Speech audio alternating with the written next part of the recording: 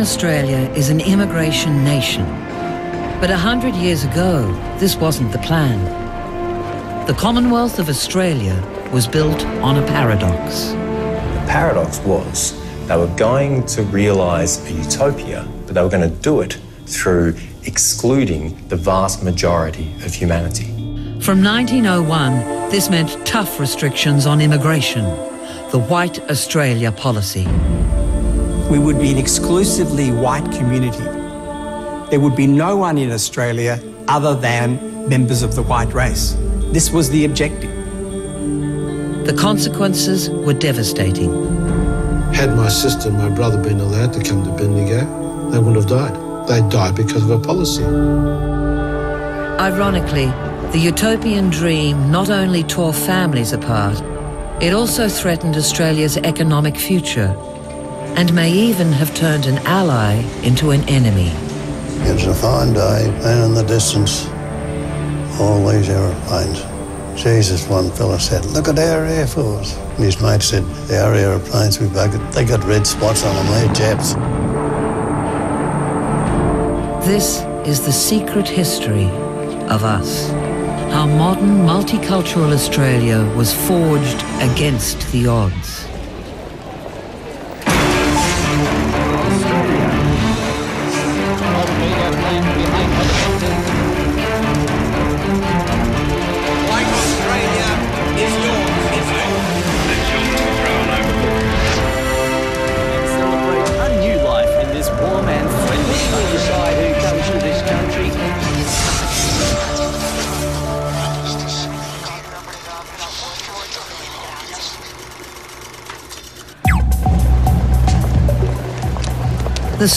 Of how Australia became the immigration nation we live in today is a story that starts at Federation.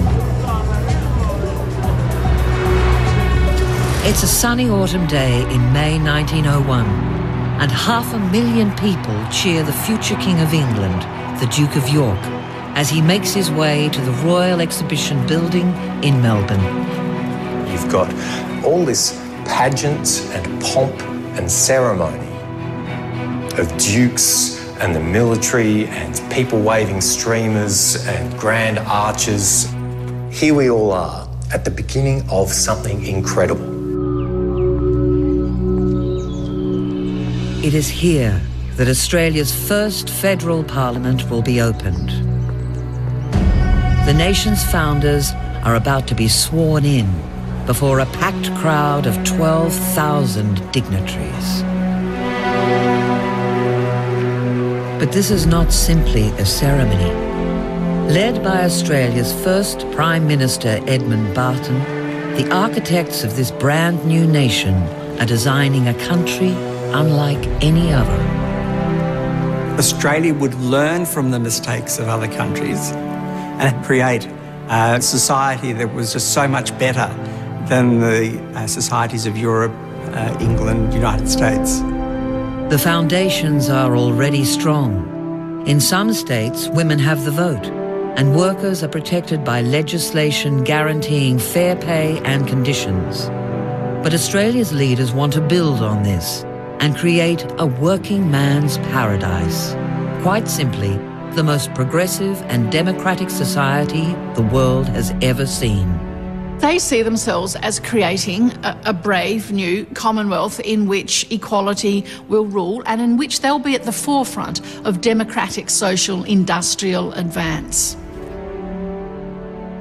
This whole federal apparatus is going to protect the, the social laboratory that Australia was to create a kind of utopia.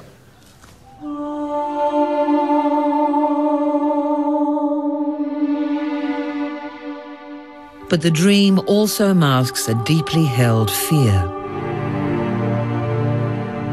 The founders of the nation feel threatened.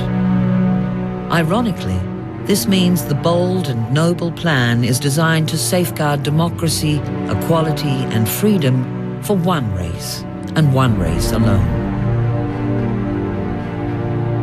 White Australia was based on a paradox that democratic equality required racial exclusion. these radical Democrats building a new society which would be based on the equality of working men, their equal political rights and their equal economic rights, that required, as they saw it, the exclusion of those they saw as servile races. There is no place in this brave new world for Aboriginal people.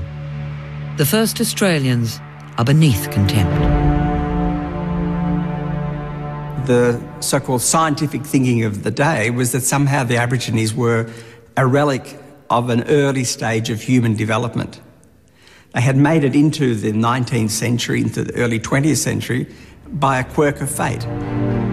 As these idealists built this new democracy, they consoled themselves with the evolutionary conceit that Aboriginal people were a dying race and that therefore, sadly, they would have no future in this brave new working man's democracy. That the most these progressive people could do, and they thought of themselves as compassionate, of course, was to smooth the pillow of the dying race.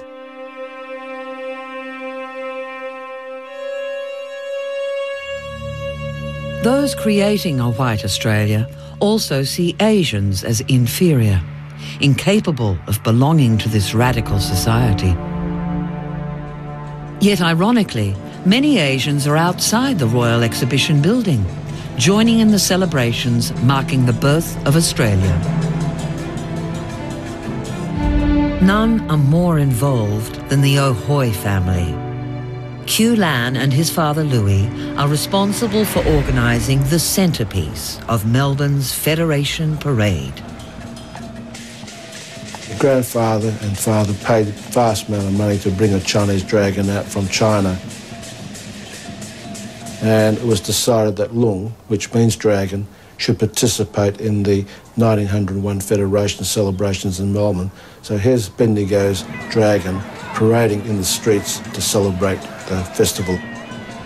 The grandfather and father, plus all the Chinese community from Bendigo, would have been honoured and proud to be part of the 1901 celebrations.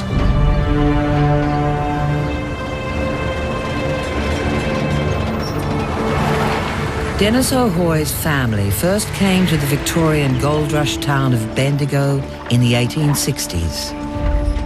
By federation, they're part of a Chinese community that numbers 30,000 across Australia. In Melbourne, the Chinese Quarter is a vibrant hub of commerce and business. The Chinatown at the turn of the century was a place where people lived. There were lodging houses, there were families, children were growing up in the street, there were general stores, multiple general stores. When I think about when is that area at its peak, at its, at its best, at its most exciting? It is at the turn of the century.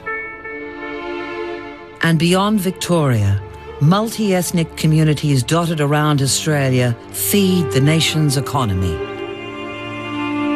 In Broome, in Darwin, in uh, Thursday Island, in Cairns, all those uh, substantial towns in the north of Australia uh, had very large Asian uh, populations or and or Pacific Island populations. And in many ways, they were the most economically important groups. Australia's population of more than three and a half million may be almost 98% white, but to those in power, even this small minority are a big problem. The economic success of the so-called servile races threatens the dream to create a white working man's paradise. The very first act of the immigration nation will be to destroy the fledgling diversity it was born with. The idea was that several generations later, we would be an exclusively white community. There would be no one in Australia other than members of the white race. This was the objective. The 7th of August 1901. Having been inaugurated just three months earlier, Australia's first federal parliament is sitting in what today is the Victorian State Parliament building. The task to debate the Immigration Restriction Bill, legislation that will change Australia forever and protect the rights of their brave new democracy through exclusion. Australia's first Prime Minister, Edmund Barton, gets to his feet to deliver what will be, without doubt, one of the most important speeches he ever delivers in his entire life. And as he's getting up, in his hand he's holding a book, and it's by a fellow called Charles Pearson. And the name of the book is National Life and Character, a Forecast. Published in 1893, this Melbourne academic's book was a global bestseller. It contains a chilling warning of what the future holds for the dominant white race. Pearson says quite explicitly the day will come when black, black and yellow races are no longer under tutelage, that they will be independent, they'll be self governing. He says they will even control the ships of the sea, the trade of the sea. And then he says this will be totally humiliating for the white man. If we don't take care, our civilization will be overrun by, by China, by Africa, by India, by other cultures, other civilizations. Believing Pearson's analysis, Prime Minister Barton and his peers fear non-Europeans will destroy the progressive new democracy. So he proposes that all migrants wanting to enter Australia will have to pass a 50-word dictation test. Based on a model already used in South Africa, it's a sleight of hand that keeps out anyone who isn't white. It uh, appeared to not give offence. It appeared to be something which was about education and not about race. But it was applied uh, in a totally discriminatory way against non-Europeans. But for the opposition Labour Party, the pretence of the test should be done away with. They're particularly fearful of migrants undercutting the wages of Australian workers and demand an outright ban on anyone who isn't white. Their leader, Chris Watson, warns of racial contamination. His party colleague Billy Hughes goes further demanding a white Australia by prohibiting the importation of a single coloured alien. Labor says just say it as it is. Bang. Put it down there like it's at a council meeting or you know, an argument between you know, the bosses and the workers. Just say what you want. And what do we want? We want a white Australia. We want no Chinese, we want no Indians, no Africans. That's what we want. So why can't we just say it? Australia may be an independent nation, but all new laws must still get royal assent from London. Secretary of the Colonies Joseph Chamberlain has an empire to think about. He knows if Australia unilaterally bans non-whites, British citizens in India and elsewhere will be outraged. Chamberlain will back the dictation test, but warns Barton and Australia he'll not support an outright ban based on colour or race. Barton says if we pass this law and make it racially explicit, it will imperil our relations with the Empire. And that's as pretty much as dark a threat that you can put to the Australian people at the time because the Australian people need the British Empire to protect their shores. On the 26th of September 1901, the vote is taken. Barton prevails as Labour's amendment is defeated by just five votes. The Immigration Restriction Act is passed. The dictation test, the device that will make it work, what will come to be known as the White Australia policy is enshrined in law. This is the founding of the nation, the rock on which the nation is founded. And it just so happens that the rock on which this nation is founded is an enactment of racial discrimination, a piece of legislation to exclude totally non Europeans.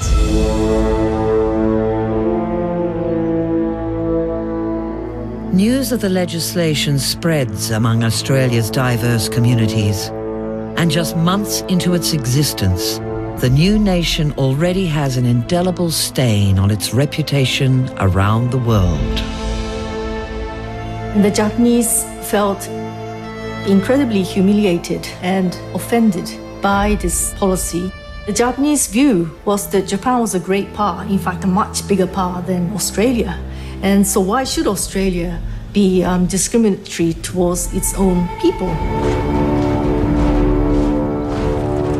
As the decades pass, Japanese humiliation will grow and fester into something far darker.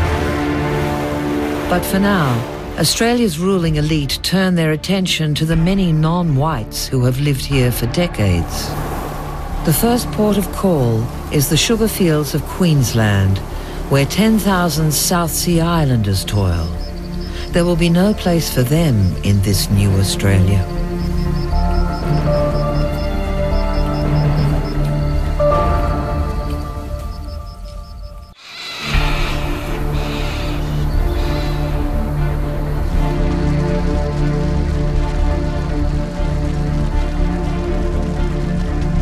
In the sugar plantations of northern Queensland, 10,000 South Sea Islanders live and work. They've been arriving here for almost 40 years. From 1863 to 1906, around that time, that's when the islanders were brought from um, the South Pacific.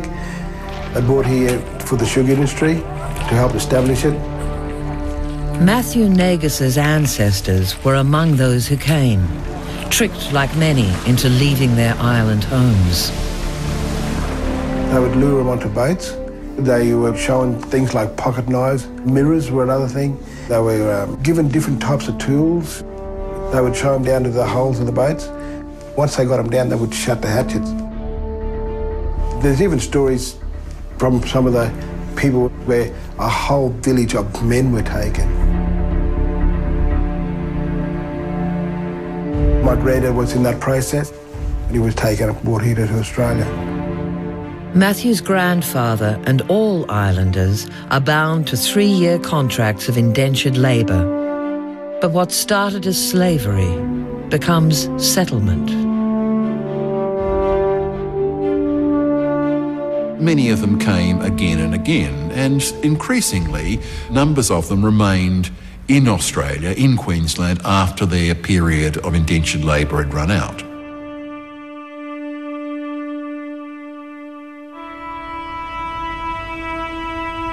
Those building the nation in Melbourne are now led by a new Prime Minister, Alfred Deakin.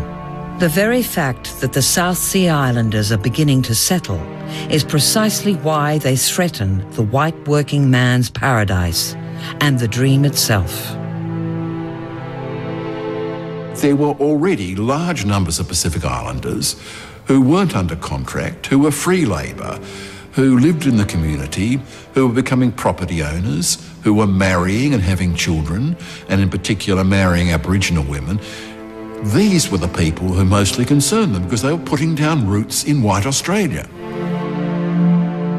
The solution to the problem is uncompromising. The Pacific Island and Labourers Act of 1901 calls for the immediate deportation of the sugarcane workers.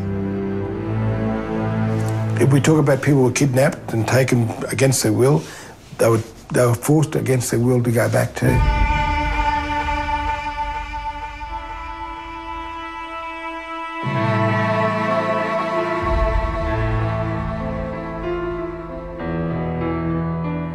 They were uprooted and they had to leave behind all their memories of life in Queensland, but also friends and relatives. It was a ruthless form of ethnic cleansing.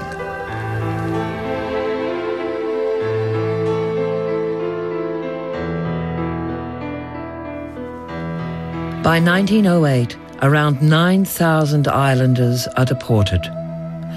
Louis from Burdekin is typical he's forced to leave behind his Australian wife and son forever. Dear Rosie, tell Herbert that I can't see him no more. We will meet in heaven. You take Herbert with you and you take all my things. I no see my missus anymore. Goodbye, Rosie. and plenty of kisses. This last letter, your loving Louis.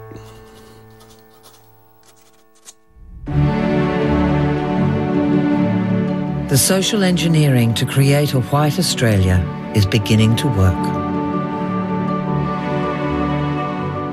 But the dream will not be achieved by deportation alone. The so-called servile races must be stopped from coming in the first place.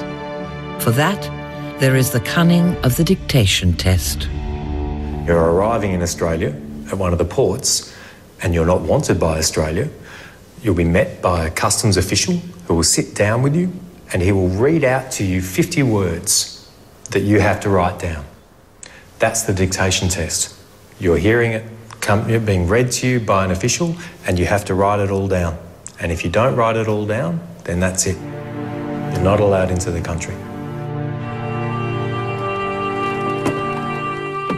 The hairy adornment of the lion renders him more formidable in appearance. But the plain fact is they are truly astonishing passages, sometimes quite complicated scientific passages with a lot of really technical complicated terms. So clearly one way you could get people to fail was to just have a very difficult passage of dictation that just about you know, no one could pass. But just in case, what was originally an English test is made even harder. L'ornament value du lion, Lorend, plus redoubtable en appearance.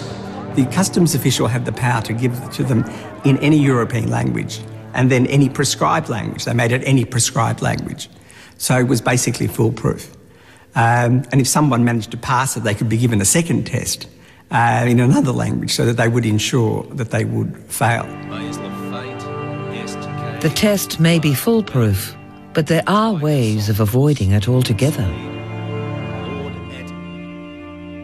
Lan Ahoy came to Australia before Federation.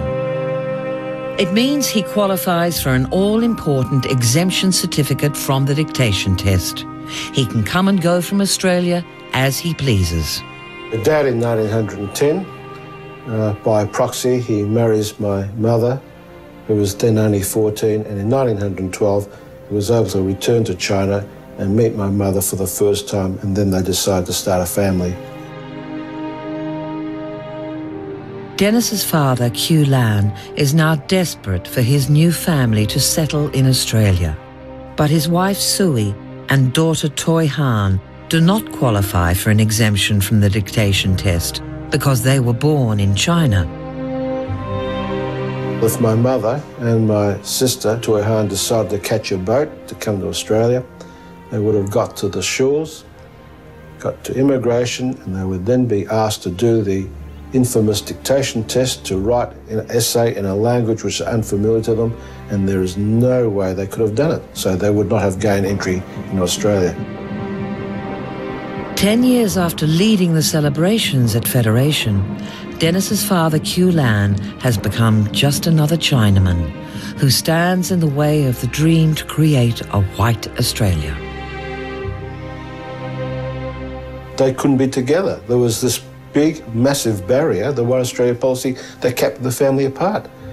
This affected all Chinese families. They were not allowed to come in because they were Chinese. It was a cruel an unjust act that it would divide families, as it did with my family, and put great hardship on family bonds. It was a very cruel act.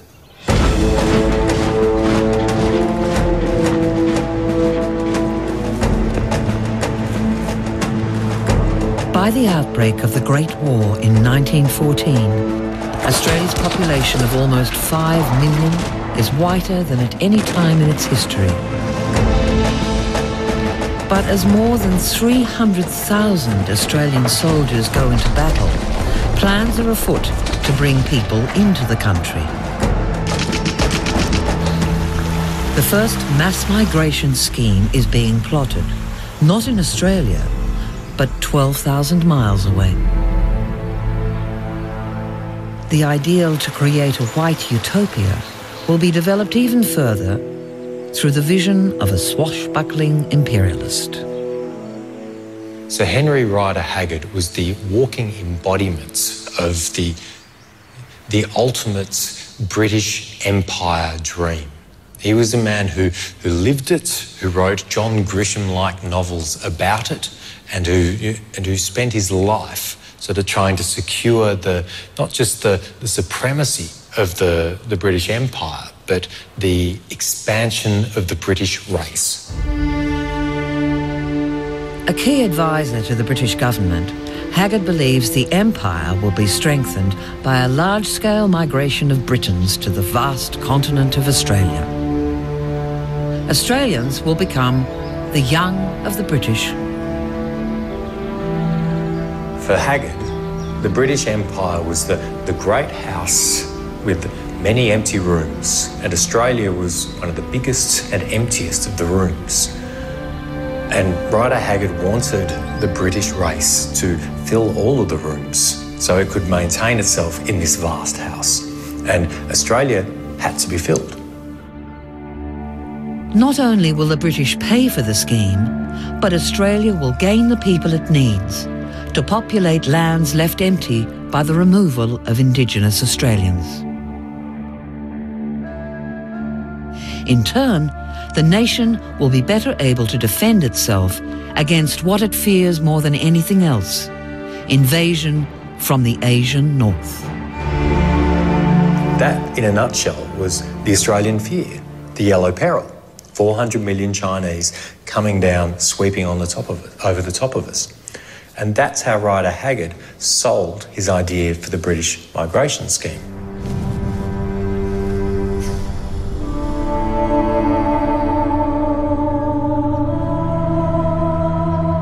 To end all wars is finally over.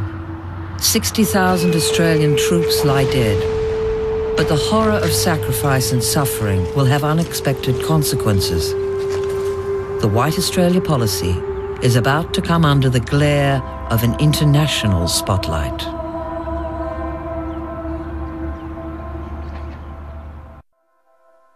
It's 1919. And now the Labour firebrand, Billy Hughes, is the nation's Prime Minister. At Federation, he called for a ban on all migrants who weren't white. The passing of time and the Great War has only strengthened his faith. Hughes was a remarkable character, small, deaf, but fiercely, fiercely determined, a union leader he knew how to talk to men, but he was even more striking amongst the diplomats and aristocrats in Paris in 1919.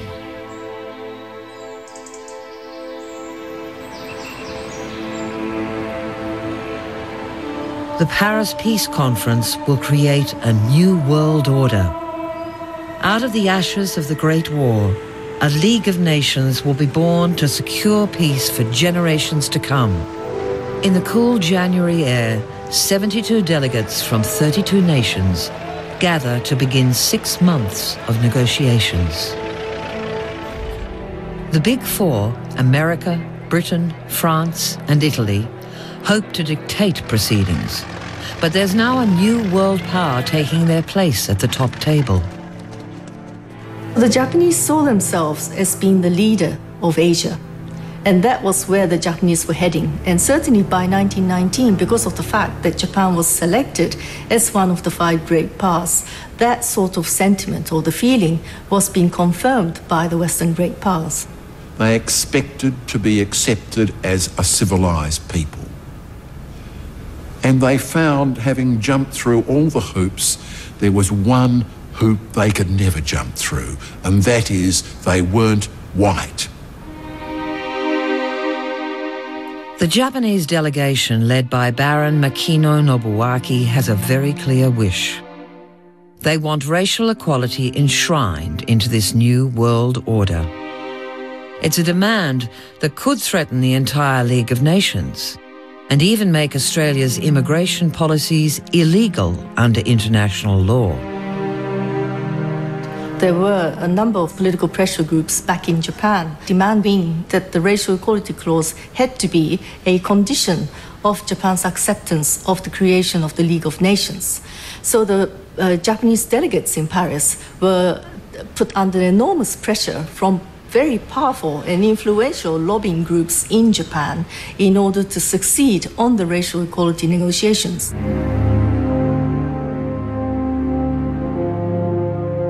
Billy Hughes has one main objective in Paris. He links the death of 60,000 diggers to the preservation of empire and white Australia. Anything that questions this assertion will be rejected out of hand. Japan's racial equality proposal is unacceptable.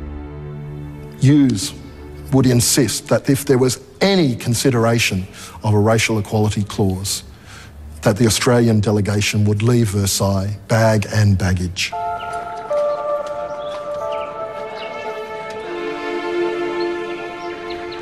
But as negotiations get underway in the opulent surrounds of the Hotel de Crillon, it seems that Hughes is not alone in his objections. The British Prime Minister Lloyd George and American President Woodrow Wilson also have strong reservations about the racial equality proposal. But they're determined to keep diplomatically quiet and avoid offending the Japanese. The British and the Americans, they don't want a strongly worded racial equality clause either. But there is the issue of relations with Japan. They now know if they don't support this racial equality clause, possibly Japan will walk away from the League of Nations. Uh, certainly their relationship will be harmed. But if they can move most of the blame onto Hughes, if they can make Hughes the patsy, um, then they can also get what they want. And so, in the rarefied air of Paris in the spring, a skillful plan is hatched. Britain and America will hold their tongues and point the Japanese towards the noisy Hughes. The Japanese were, were very patient and they tried again and again and they tried the Americans and the Americans said, well, it's not up to us, you have to talk to the British. So they talk to the British and the British say, well, we have a problem with these dominions you know, Australia and New Zealand and South Africa, uh, you'll have to deal with them. So the Japanese endeavour to uh, talk to all the leaders of the dominions, and uh, most of them say, well, you know, we, we wouldn't mind this, but there's always Australia that's the problem. The Japanese have no other option but to deal directly with Hughes and suffer the inevitable consequences. The Japanese found him impossible to negotiate with he was not very statesmanlike as far as the Japanese were concerned, because other statesmen and delegates at the Paris behaved in a civilized manner, in a very diplomatic manner. They say uh, this man is a peasant. Um, how is it that we have to try and deal with this ignorant uh, provincial from Australia? Why don't the British make him behave? Often Hughes pretended that he wasn't around when the Japanese requested to see him. And when they did, Hughes would just kind of, you know, pretend that he couldn't understand what they were saying when they were speaking to him, obviously in English. Hughes's unique diplomatic approach is causing alarm at home. In Melbourne, the Director of Military Intelligence, Edmund Piesse, believes the consequences of ignoring Japan's demands could be disastrous. Despite the fact Japan's an ally, the Australian military still sees Japan as its number one threat in the region. So for Piesse, if countries like Australia insist that there is no racial equality clause, that the Australians are actually walking into a trap. Despite Piesse's dire warnings, Hughes is unequivocal. White Australia must be protected. The Australian Prime Minister has played the role of patsy to perfection. The American-British ploy works. The Japanese believe Billy Hughes is the central stumbling block. Indeed, Baron Makino, one of the senior members of the Japanese delegation, writes back to Tokyo that the racial equality clause, its fate, rests in the hands of one man, the Australian Prime Minister. After three long months of negotiations, the fate of the racial equality proposal and potentially the legality of white Australia hang in the balance. At the Palace of Versailles, a vote is taken. A majority of delegates support the proposal. But the American president intervenes. Wilson, from the chair, said there's not unanimity, and this is an issue on which there must be unanimity, therefore it is lost. Quite against all procedure of, of what had been regarded as normal meeting procedure in the League itself. The Japanese were mortified. The whole notion of the League of Nations was built on the idea that it should create a fairer and more just international order. And by denying this you know, supposedly basic, basic principle of equality of states, uh, how could this League of Nations um, really effectively uh, provide a international order? On the 28th of June 1919, the peace treaty is finally signed in the Hall of Mirrors at the Palace of Versailles. Denied its racial equality clause, Japan departs Paris humiliated and embittered against the West. Billy Hughes, on the other hand, leaves for Australia, head held high. Hughes returns to Australia a conquering hero, and always in his public speeches, he refers to the racial equality clause and he refers to the protection of the White Australia policy. White Australia is yours. You may do with it what you please. My colleagues and I have brought that great principle back from the conference, as safe as it was on the day when it was first adopted. Hughes, already a hero to the Australian soldiers, has never been so popular. The little digger who went into battle at Versailles to save white Australia. But the triumphalism hides a grave truth. Back in Australia, people like Edmund Piesse are devastated by the decision.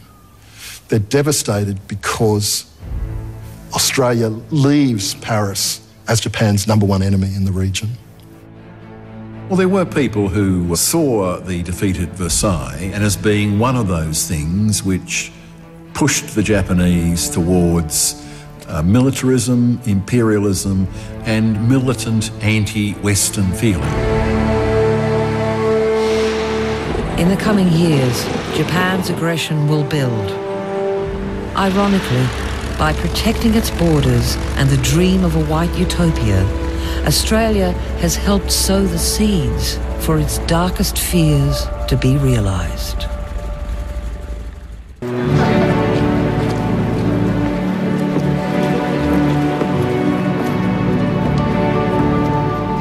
Docks in England 1921. The British settler scheme proposed by Rider Haggard has been given the go-ahead and the first organised mass migration to Australia is underway. Thousands of hopeful Britons will fill the vast empty lands, cultivate the soil and settle more than 20,000 new farms. Australia doesn't even need to pay. The British are footing the bill. It's very much an imperial vision for Australia's future. The British want to lock Australia back into the empire, and one way that this happens on the ground, literally, is through schemes of British settlement that are underpinned, underwritten for the first time by the British. For Frederick Challis, the chance to leave his life behind as a poor farm labourer in Essex is too great. He sets off with his wife Rose and six children. It's a story of adventure that's been passed on to his granddaughter. Granddad realised there was no bettering himself. He wasn't going anywhere. He was going to stay like this forever unless something changed. They painted this wonderful picture. It was like, come to the land of milk and honey. You'll have a farm, fenced, cattle, a house, just everything. The sun shines all the time. It's going to be wonderful. They could actually see a future for themselves instead of standing still in, in England forever. And that to them was just a dream. As the door opens wide for the British, it is fast being slammed in the face of those trying to make their way to Australia from Asia.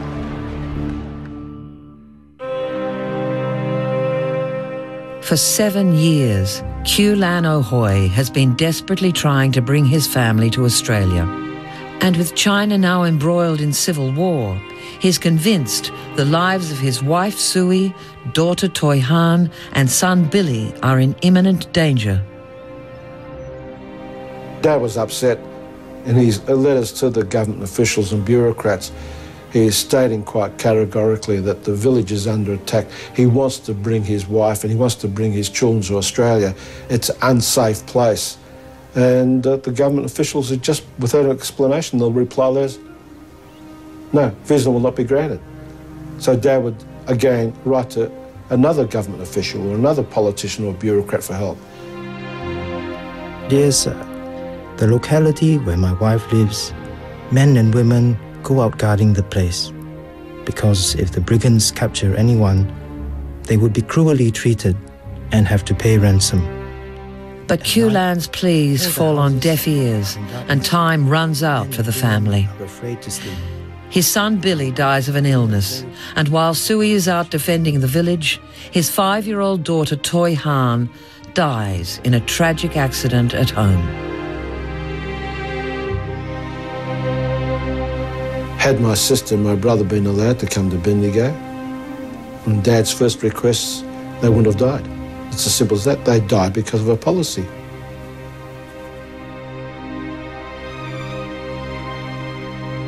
Too late to save his children, Lan is finally granted a temporary two-year visa to bring his grieving wife to Australia.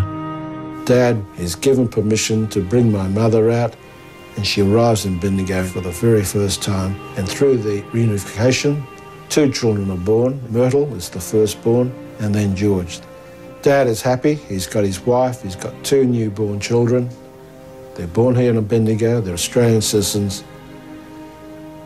The visa starts to run out. So Dad writes more letters. Can I have an extension? No. Your wife has to go. Faced with an impossible ultimatum, Q Lan decides his young children George and Myrtle should also return with their mother to China. By splitting up families like the O'Hoys, the Chinese community is slowly being strangled. The generation that arrived before Federation is growing old and dying out, and they can't be replaced. The Immigration Restriction Act and the dictation test are the perfect deterrent. Within a few years, people even stopped trying to come to Australia to sit the dictation test because it was a waste of money. And it was known that it was a waste of money. From its vibrant, bustling peak just two decades ago, the trading quarter of Melbourne is now in decline. Chinatown starts to shrink, and it starts to shrink dramatically. It's no longer taking up four city blocks, it's taking up two city blocks, then one city block, effectively. The unwelcoming nature of the legislation meant that the community couldn't be refreshed with new with new people, with new family members, with uncles, with aunts, um, with with children. By the early 1920s, the Chinese population in Australia has halved since Federation.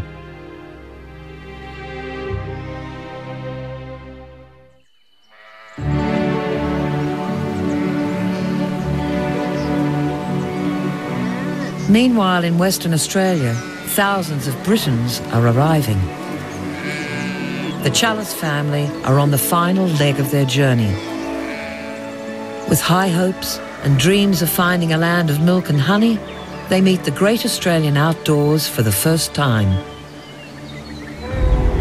They were all dumped off the truck with their belongings and left there, and the truck disappeared. There was no farm clearing or anything, it was just virgin, thick bush. Everything had to be cleared by hand, morning till night, chopping and clearing and burning and trying to get some sort of paddock to put something on. But They thought, well, we obviously have been conned, but we've got nothing else, so let's go for it. They just kept working all the time, just every bit was a bit more improvement. I don't know how he did it. The Challises make a go of it, but they are rare. Many have come from urban Britain and have no experience whatsoever of working on this or any other land. They couldn't farm. They didn't know how to farm, and they were brought to land that was utterly unsuitable for the sort of farming that they were told to do. It was quite a romantic expectation that they could leave, you know, wage slavery in the cities and become their own independent proprietors in Australia. The scheme is an unmitigated disaster.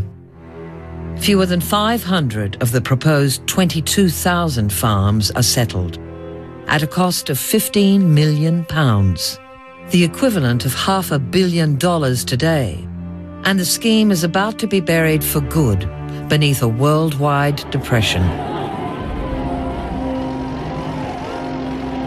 The Wall Street crash and the, Great Depression that took place subsequent was the, the worst economic disaster of the entire 20th century.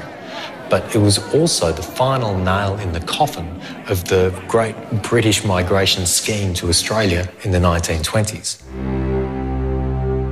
While the British go down with the crash, ironically, some of the migrant communities the White Australia policy is designed to destroy are surviving, sometimes with the help of ordinary white Australians. Quite often, although a local community might in general be against Asian immigrants, they were favourably disposed to their own Chinese that everyone knew. That everyone knew the Chinese family who bought the fruit and vegetables and bought better fruit and vegetables. And in a way, they got to know those families and often were very protective of them. And it's not just the Chinese who are avoiding the ravages of white Australia. Since the 1850s, the Japanese have come to dive for pearls, their superior skill and bravery making them invaluable to the economy. The one place where the policy ultimately failed was in the pearling industry. They certainly tried, the authorities, to bring white divers to drive out the coloured labour, the, the, Japanese in particular. But this was a lamentable failure. And the Japanese uh, captains, the, ja- the Japanese seamen, and the Japanese divers continued to be essential to the pearling industry right through the period of the White Australia. The Japanese migrants may be a godsend to the pearling industry, but Japan itself is fast causing alarm. Having invaded Manchuria in 1931, Japanese forces have now moved further into China.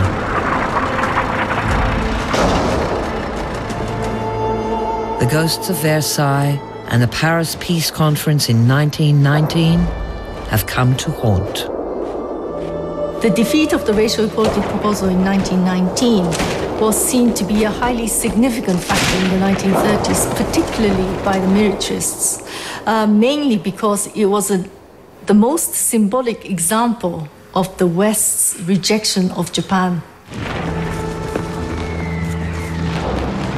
With the Japanese advancing, the O'Hoy family is still locked in their own very personal battle. Q Lan now has four Australian born children, but they're living with his wife Sui in China because she is only allowed to come to Australia on a short term visa. In 1935, Sui and the children arrive in Australia for another temporary two year stay. The family is reunited again and everyone's happy, but it's only a short term visa. There's the threat my mother will have to go, which means the two boys and two girls will have to go.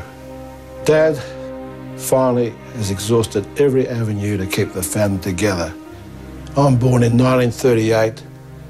Dad is in the process now of buying the tickets for mother the four siblings, including me, were about to be, quite frankly, deported. But in an ironic twist, Dennis and his family win a late reprieve. Japan's invasion of China means all shipping is cancelled between Australia and the Far East.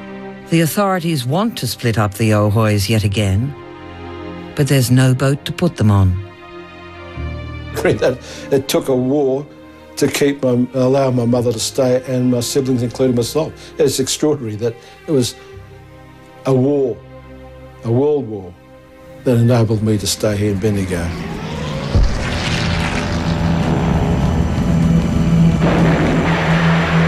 As Japanese forces bomb Pearl Harbor on the 7th of December 1941, the die is cast for Australia. The Japanese horde pours southward. Landings are made on the Philippines, Guam, Wake, Hong Kong fall. A huge Pacific area is Japanese territory by right of conquest. War laps the shores of Australia. Australia climbed behind her defenses and waited.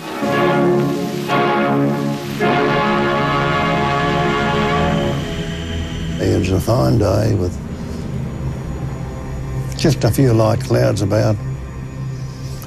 And in the distance, all these aeroplanes. Jesus, one fellow said, look at our Air Force. His mate had better eyesight. He said, our aeroplanes we buggered. He said, they got red spots on them, they're Japs. There were flights of dive bombers, heavy bombers, fighters, you name it, they were all there. Darwin, the 19th of February 1942. Australia's darkest fears are realised. The invasion feared for generations could finally become a reality. The seeds sown at Versailles, the obsession to build a dream, have instead helped create a nightmare. There is a connection. This is not to suggest that Japanese militarism would not have happened without the racial equality clause. But that whole racial equality debate set in forth uh, a, a, train of ideas, of tensions, of suspicions that ultimately find voice first uh, at Pearl Harbor uh, and later with the Japanese attacks uh, on Australia. There's an almost unbelievable irony at work here. Australia had done everything to try and safeguard a white Australia and, in an uncanny fashion, helped manufacture the ultimate yellow peril threat that white Australia had first been invented to try and avoid. By World War II, 99% of Australia's 7 million people are white. Half a century of exclusion and restriction has socially engineered a nation. But just as this was achieved, the most extraordinary reversal was already being plotted.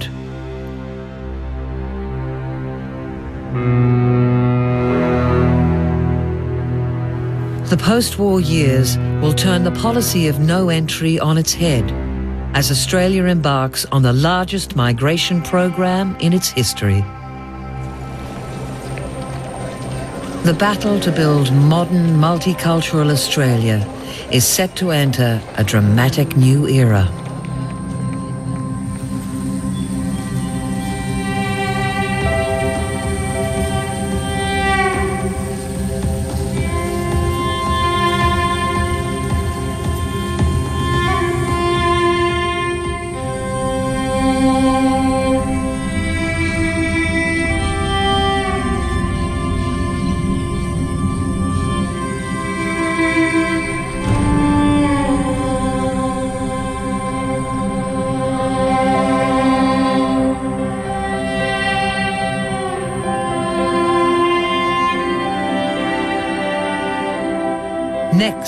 Immigration Nation, how Australia spins the arrival of a million migrants, yet somehow clings to the White Australia policy. The selection teams are instructed very clearly to select people from Latvia and the Baltic countries and to have blonde, buxom women.